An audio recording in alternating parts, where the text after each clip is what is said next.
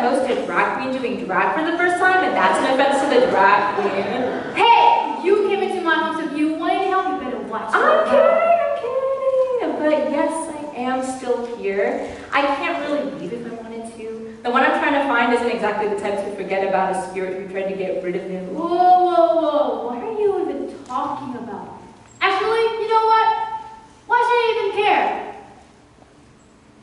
Okay, okay, well, hear me out. Just No! I said no. Listen, how old was it? actually, it's Hao. I told you I can't. It's impossible.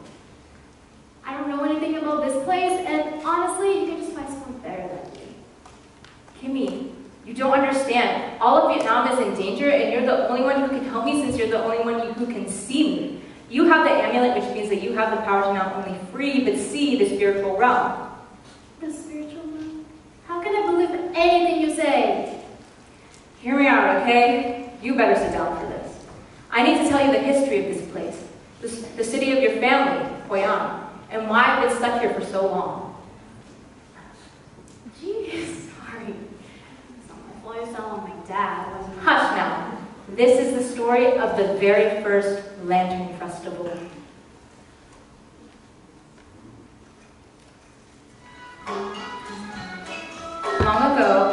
Ancestors wanted to celebrate the lives of those before them and honor the legacy that gave them the opportunities to live their peaceful lives in the city of An. Thus, this city became the birthplace of the Lantern Festival, as a celebration of your ancestors. The lanterns represent many things. It was a symbol of luck, happiness, and fortune, but also serves as a relic, an icon of remembrance for our ancestors. Wait, so this Lantern Festival in Hoi An is about our ancestors serves as an event to remember them? Yes and no. It is also an event of peace and reconciliation. Those still in the mortal world light the lanterns to wish their ancestor spirits peace into the afterlife. Okay, so where's the danger? Here's where the bad part comes in. There was once a family with a loving wife, caring father, and charming son. The wife loved to participate in the Lantern Festival and would frequently volunteer down by the river. One day, a terrible accident struck the city, and a tragic death befell the wife. The father was grieving the loss of his wife and was swallowed by anger. He took that anger out on his son and swore that the family will never be allowed at the festival ever again. So late at night, the young son took, snuck out towards the end of the festival to have a closer look at the bright lights that floated away. Upon his arrival, he bumped into a friend that told him,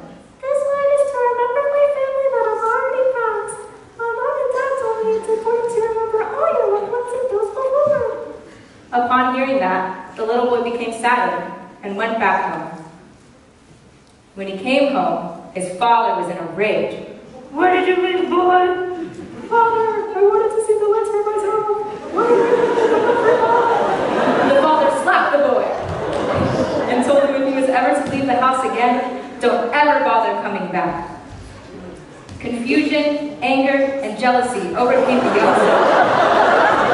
As he got older, an evil spirit saw the broken soul and latched itself onto him. Eventually, that darkness took hold of him, creating the evil spirit we know now. Stricken with anger and malice, he swore to inflict the had been dealt onto other families. Day by day, he swept from city to city, manifesting his spirit in the hearts of families, dishing out his own justice as he saw fit. Being the judge and executioner, he cast dark shadows upon families, vanishing any reminiscence they had of their ancestors. As days passed, his sinister plan was finally proving effective. Forgotten spirits came in droves, and with each passing night, a new herd of malevolent spirits came to join him, and his name was Bao Minh. I'm Bao Minh.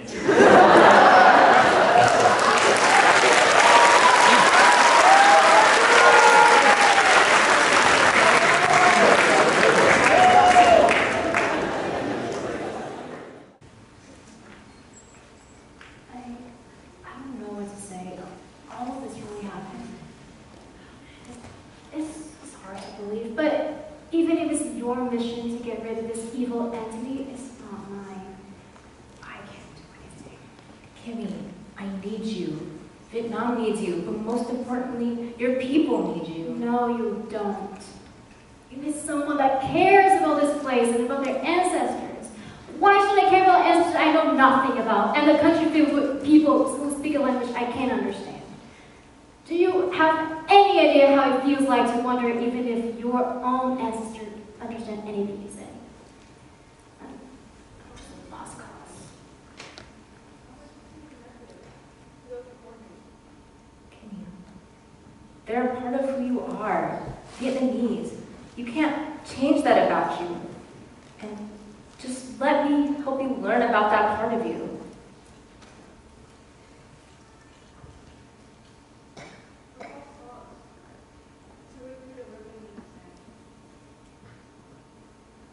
It's not too late to learn about being Vietnamese. Language is one of the many ways to connect us to our heritage. Why don't we do this? While you're here, I'll show you the true beauty of Hoi An, and then along our journey, you can decide whether or not you want to help me. I either pick my probing aunties or a spirit from an amulet with fashion taste. I guess that wouldn't be too bad. Plus, it will keep me, me busy while I'm here for so long.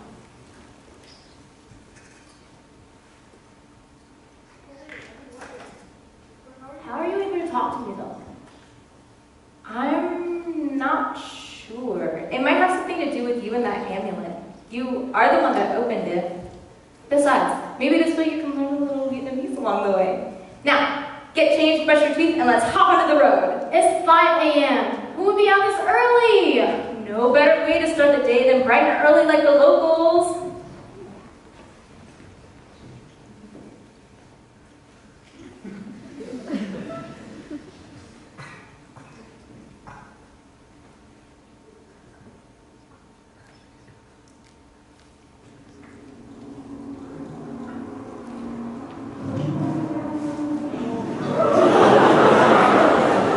She's awake.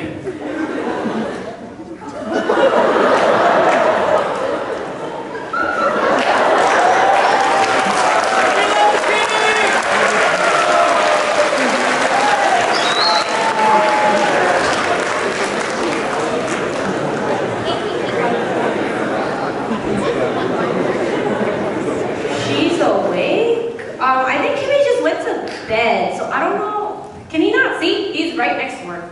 She's she's not awake. She just went to sleep. Maybe Bao Minh's didn't know. Maybe he can't see either. But yeah, I definitely think that maybe Bao Minh's has something under his sleeve. Sleeve? What would be under your sleeve? What's under your sleeve? I don't have sleeves, so why'd you change?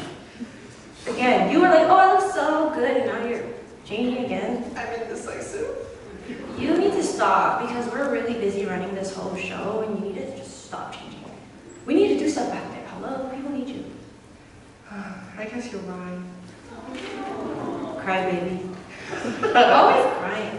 I, I just love all the outfits I brought. I don't want to wear all of them, you know? Whatever.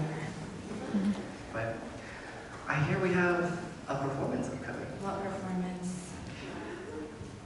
Does anyone know? Did anyone read the pamphlet? I know y'all pamphlet. Yeah. Hmm. Hmm. Should we call on someone? we names. We typed up every single. What what performance is next? They're checking the pamphlet right now. What's next? What's next? Is it modern? Not not modern yet. Mulan. They they didn't read the pamphlet. Dang. It's okay. The literally runs everything. Yeah, I know. Can't see, can't read. All right, I guess we'll have to go. Well, you guys will see. You guys will see.